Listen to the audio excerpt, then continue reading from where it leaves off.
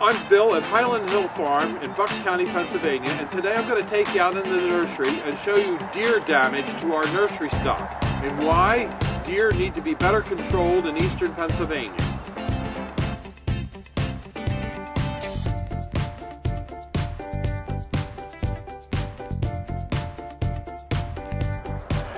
This is a block of Elegantissima arborvitaes.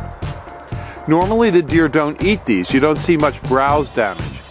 But rubbing is the critical problem here. Every tree in this block will be ruined by the deer by the end of this year or next year. There's a tremendous population of deer in this area this year. In other years, we haven't had such a population problem, but this year it seems to be exceptionally bad. I'm going to take you over and I'm going to show you the cryptomeria over here as well. The cryptomeria over here, we had over 150 of them planted in this block over here next to the elegantissima, and not one is going to make it to market.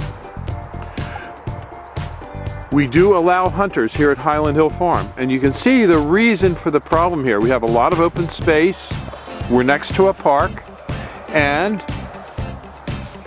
there's plenty of food.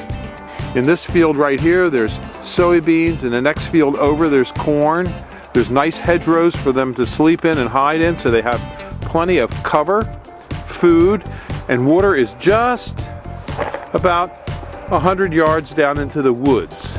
There's several woods around here where the deer lay during the day and they come out and browse in the evenings and the mornings. So if you want to hunt these deer, we do have a program here at Highland Hill Farm. But now I'm going to show you why these trees will die.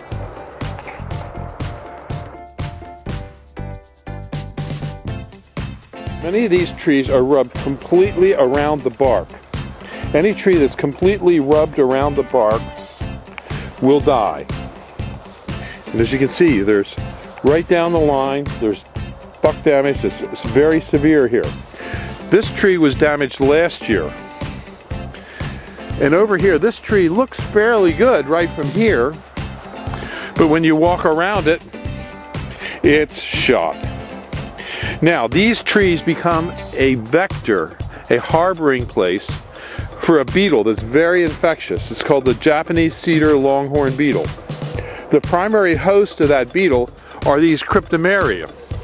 And these cryptomeria are weakened. And weakened trees are a prime place for the beetle to survive and to thrive. So all these trees in here are going to be killed. We're going to brush hog every single one down and we're going to chip and burn. Some will be chipped, some will be burned. The ones that are going to be chipped are the larger ones, the smaller ones we're going to put in a pile and burn. And you can see there's not a tree in this row that'll survive.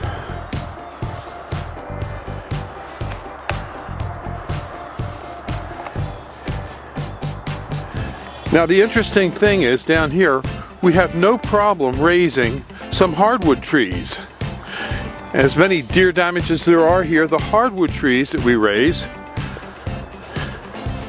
don't seem to be bothered as much. In fact, we've been out here harvesting some and digging some.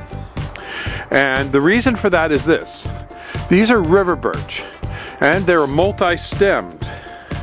Multi-stemmed trees such as this, the deer don't rub as much. The bark that's peeling here is the natural peeling of the river birch. These are heritage river birches. Now if you notice, what we do is we leave all these suckers around the tree. And when we do that, the deer, when they go to rub this tree with their antlers, these branches get in their eyes and they don't like that. So it's sort of a natural defense against the deer. now over in this section over here, these are trees that the deer don't normally eat. This is a copper beech, but they will rub them but they have pretty much left those alone. The other issue here that comes into play is these trees up in here are opportunistic.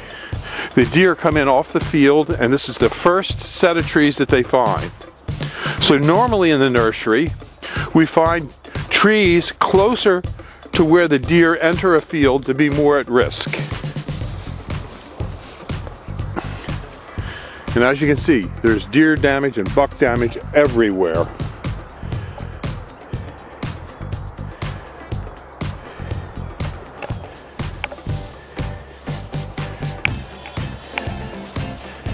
You can see a deer started here, but didn't do any damage. Here come some geese.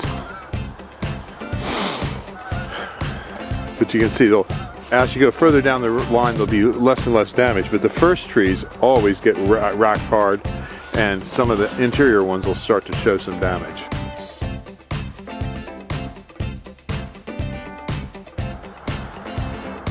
This is a fresh buck rub. I came by here yesterday and this tree was fine.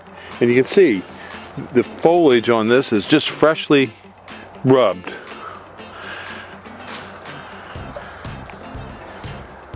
And of course, again, as you see, this is an opportunistic tree.